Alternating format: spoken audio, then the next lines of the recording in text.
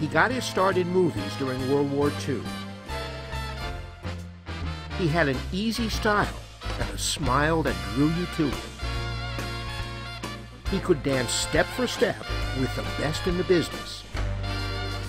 When he sang, even movie stars blushed and cooed. He could play a tough guy surrounded by a bunch of hoods, or he could do tender love scenes with beauties like Grace Kelly. His name was Frank, Frank Sinatra. He sang and acted in movies.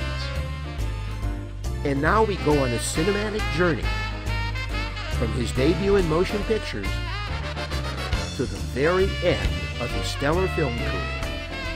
As the man himself might say, we'll take you